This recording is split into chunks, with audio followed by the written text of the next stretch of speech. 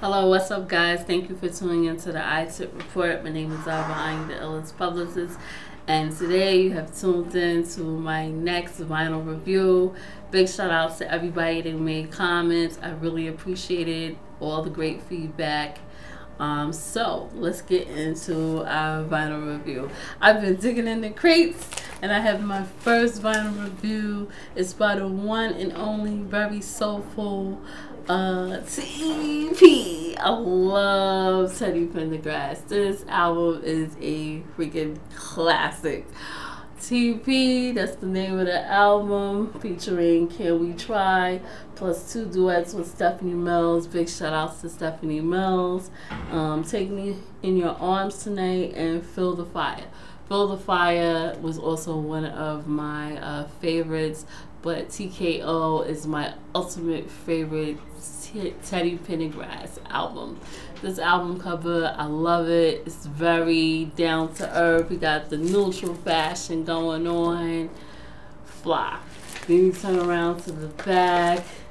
You know, a little bit of more charisma. Love the picture. Love the style.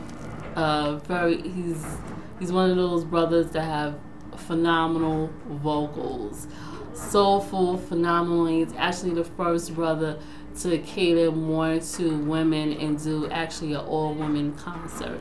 So rest in peace to the life and legacy of Teddy Pendergrass. Also, this album was put out by Philadelphia uh, International Records. And um, the jacket, which is something I love with the jackets because they always have the words. Most of the vinyl albums I have, they always have the words on them. So shouts out. And um, producers, if you don't have this, you need to get it. It's phenomenal. Love it. TP. My next vinyl review is by the wonderful. Just he's funny to me. I've heard so many funny stories about this dude as well as I also love the producer as well. And when I saw the um, album cover, I was like, I have to have it. Uh, this is the album is uh, Madvillain, and is by MF Doom and Mad Madlib. MF Doom is one of my favorite MCs. I love his style, and uh, Madlib is also one of my favorite producers that really both of the artists you really never get to see them live or whatever but i love this cover. It's very gladiatorish. There's definitely things that i like. So that's why i got this cover. I got this cover of fat beats because it was it just caught me. I haven't even opened it. I think i'm just gonna hang it on my wall when i buy a house. So see you guys i don't know i think maybe most djs would have this i'm not for sure um I haven't really seen anybody with a copy of this, but I thought it was dope. And then you look at the back. The back is pretty different, you know. And uh, it features curls and All Caps. And ironically, Illest Villain, just like the Illest Publicist uh, remix, curls, vocals and instrumentals, scene three, all caps, vocals and instrumentals. So pretty much the lyrics is by MF Doom. Production is by Madlib. Love the album cover. Shout outs to whoever uh, took the picture of this. This was put out by Stone Throw and Fat Beats. See you guys?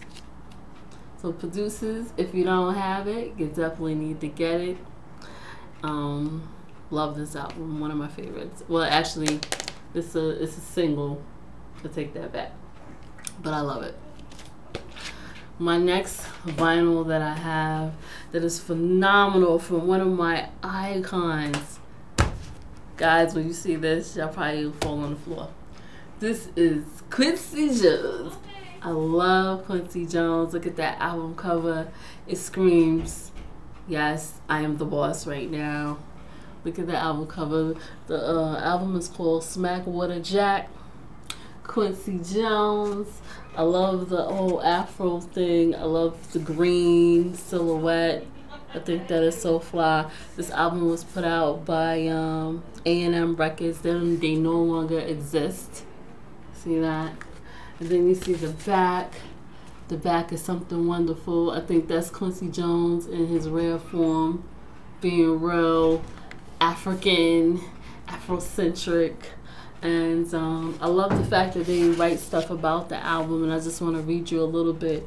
Uh, it's what it says. It says, "What Quincy Jones has done in this album is to bring it all together: rock, blues, R&B, jazz, and just plain music. And even though we all know that music is music, it's sometimes taking events such as this to sum it all up for us.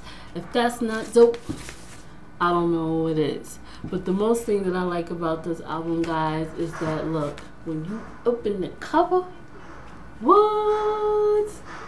That is fire. You see Quincy Jones and some. Oh man, this is like a.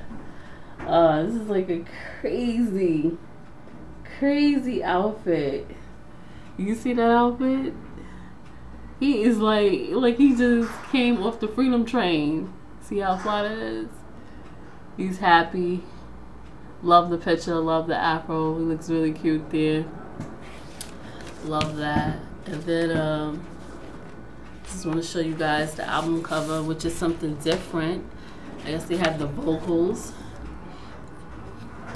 This is the vocals. Actually, this kind of looks like Patty, but I'm not for sure. But it kind of looks like Patty. It looks like Patti LaBelle to me. I don't know what you guys think. I just think that is that's fly. So you see the back is different, real funky. And then I want to show you guys the front of the album. See? Isn't that fly? Love it. Love it. So producers, if you have this, I salute you. If you don't, I still salute you. Try to find it. And it was somewhere out there. Shout outs to Quincy Jones. Still doing it. One of my biggest icons ever. You know?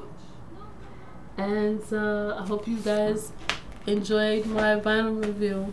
And I'll see you next on the next review. As always, I'm going to be digging in the crates and bringing you something new from a female perspective.